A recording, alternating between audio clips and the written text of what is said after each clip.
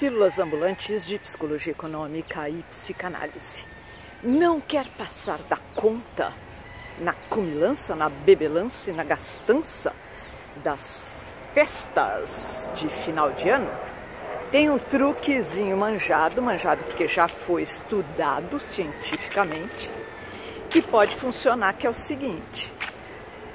Para não comer demais, use pratos menores.